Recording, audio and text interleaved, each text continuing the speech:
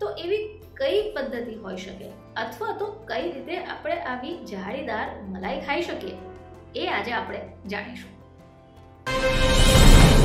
નમસ્કાર દર્શક મિત્રો, ખબર છે. ડોટ કોમમાં હું દર્શક આપ સૌનું સ્વાગત કરું છું.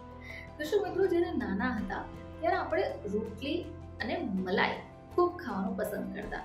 આજે પણ ઘણા બધા લોકો એવા છે કે જો ખાવાનું ન ભાવે, તો આ દૂધની મલાઈ અને રોટલીને ખૂબ શોખથી ખાય છે. પરંતુ ઘણા બધા લોકો એવા હશે જે ફરિયાદ કરતા હશે કે આજના દૂધમાં તો એવી મજા જ ક્યાં છે કે મલાઈ સારી એવી થઈ શકે. ઘણા બધા લોકોને જાડી અને રસદાર મલાઈ ખાવાની આદત હોય છે, ખરું ને? તો એવી કઈ પદ્ધતિ હોઈ શકે? અથવા તો કઈ રીતે આપણે આવી જાળીદાર મલાઈ ખાઈ શકીએ? એ આજે આપણે જાણીશું.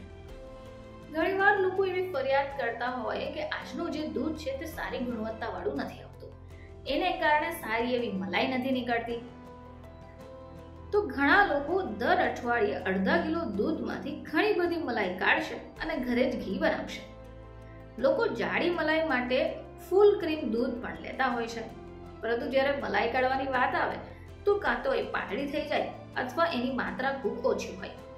તો આજે આપણે દૂધમાંથી ઘટ્ટ મલાઈ બનાવવાની કેટલીક સરળ યુક્તિઓ છે, જે આપણે ચર્ચા કરીશું.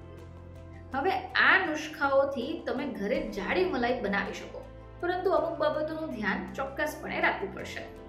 તો ચાલો વાત કરીએ કે કઈ રીતે આપણે દૂધમાંથી જાડી મલાઈ કાઢી શકીએ. તો એના માટે તો તમારે પહેલા ફૂલ ક્રીમ દૂધનો ઉપયોગ કરવો પડશે. જેમાં વધારે ફેટ હોય. હવે આના માટે તમે ટોન્ડ મિલ્ક અથવા ગાયના દૂધને બદલે ફૂલ ક્રીમ મિલ્ક લઈ શકો, એનો ઉપયોગ કરી શકો, જેનાથી તમારી ઘરે જ મલાઈ ઘટ નીકળી શકે.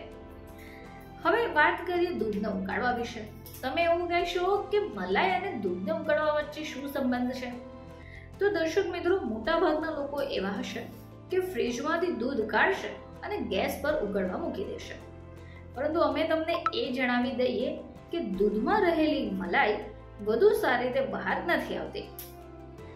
એટલે માટે જ્યારે પણ તમે ફ્રીજમાંથી દૂધ બહાર કાઢો છો, તો એને પહેલાં સામાન્ય તાપમાન પર આવવા દો.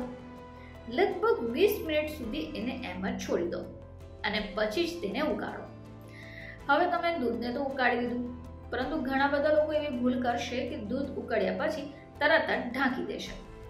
જો તમે જાળીના ઢાંકણ અથવા ચાળણીથી ઢાંકો છો, તો આ સારી બાબત છે.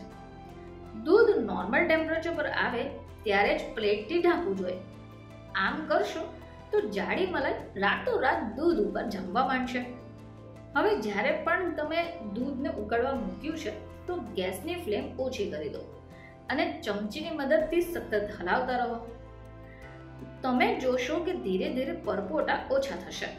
બસ, ગેસને બંધ કરી દો. રૂમ ટેમ્પરેચર પર આવ્યા બાદ તેને ફ્રીજમાં મૂકી દો. તો રોટલી ઉપર જેવી જાડી મલાઈ તમે ઈચ્છી રહ્યા છો, એવી ચોક્કસપણે તમને મળશે. હવે આના સિવાય બીજો એક ઉપાય છે કે તમે માટેના વાસણમાં તેને સ્ટોર કરી શકો. જ્યારે પણ દૂધ રૂમ ટેમ્પરેચર પર આવી જાય એટલે એને માટીના વાસણમાં રાખી દો. આ ઉપાય કરવાથી તમારું દૂધ પણ ઘટ થશે અને મલાઈ પણ સારી એવી નીકળશે. ફરીથી તમારી સમક્ષ હાજર થઈશું. ત્યાં સુધી જોતા રહેજો. ખબર છે ડોટ કોમ